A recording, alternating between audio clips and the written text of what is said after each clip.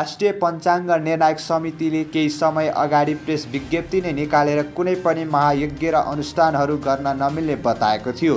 उक्त विज्ञप्तिमा भनिएको छ शास्त्र अनुसार मिलाएर जुराएर विधि पुर्याएर गर्नुपर्ने कर्महरूमा भागवत पुराण लगाउनु लाखबत्ती वा करोडबत्ती बाल्नु भूमिदान तुलादान आदि महादान गर्नु गुहारम्भ गृह प्रवेश वास्तु पूजा देवता स्थापना प्राण प्रतिष्ठा गर्नु कहिले नगएको तीर्थ जानु कहिले नगरिएको देवदेवीको दर्शन गर्नु विवाह व्रतबन्ध संस्कार गर्नु शास्त्र विरुद्ध हो भनिएको थियो।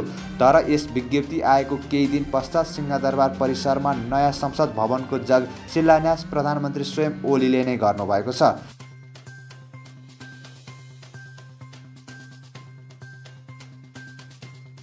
संविधानको एउटा अङ्ग नेपाल पञ्चाङ्ग निर्णायक समिति यो समय पितृकर्म बाहेक अन्य देवकर्म गर्नु हुँदैन भनी भन्दै गर्दा यस्ता सरकारका प्रमुखले भवन शिलान्यास गर्नु कतिको शोभनीय हुन्छ। अहिलेसम्म नेपाल पञ्चाङ्ग निर्णायक समितिको कुनै पनि आधिकारिक धारणा बाहिर आएको छैन।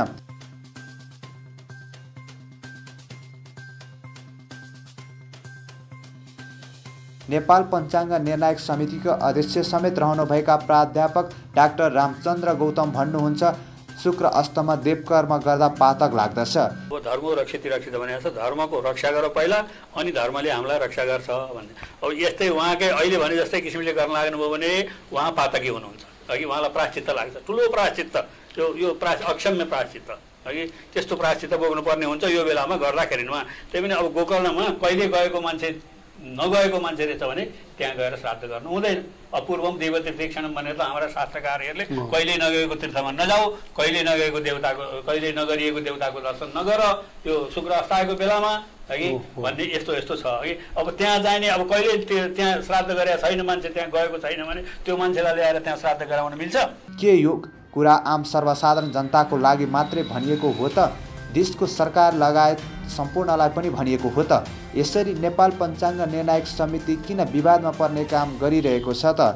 यही भाद्र अठाइस गतेदेखि आश्विन एघार गतेसम्म काठमाडौँको गोकर्णमा दुई सय सोह्र आवृत्ति भागवत पाठ गरिने र एक्काइस करोड बत्ती बालेर देवतालाई समर्पण गर्ने पितृमोक्ष महानुष्ठान धार्मिक कार्यक्रम गर्न हुँदैन भनेर प्रेस विज्ञप्ति नै निकाल्न सक्ने पञ्चाङ्ग निर्णायक समिति संसद भवन शिलान्यास सम्बन्धमा किन केही बोल्दैन? कि नेपाल पञ्चाङ्ग निर्णायक समितिको काम पात्र निकाल्ने मात्रै हो।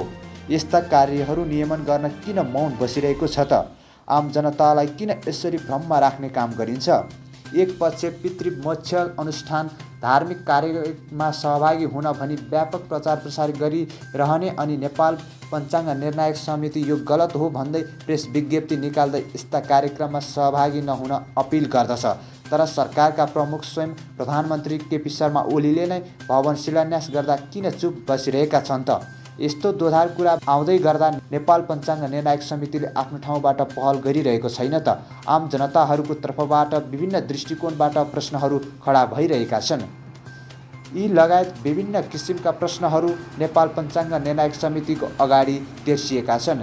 कि त सरकारले पनि नेपाल पञ्चाङ्ग निर्णायक समितिको आदेश नमानेको हो कि सरकारलाई भन्न सक्ने आँट गरेन कि नेपाल पञ्चाङ्ग निर्णायक समितिले यदि सरकारले नमानेको हो भने पनि स्पष्ट पार्नु पर्दछ। यसका लागि नेपाल पञ्चाङ्ग निर्णायक समितिले आफ्नो आधिकारिक धारणा बाहिर ल्याउनु पर्दछ।